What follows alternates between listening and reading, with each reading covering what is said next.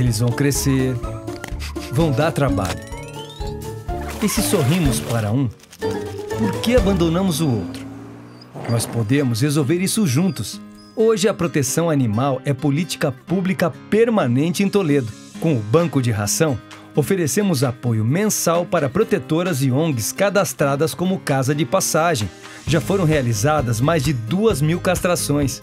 E tudo mais que nossos almiguinhos de quatro patas merecem. Garantimos 300 novos lares felizes com nossas feirinhas de adoção, em parceria com protetoras, ONGs e instituições. Aumentamos a fiscalização contra maus tratos e melhoramos os canais de denúncia.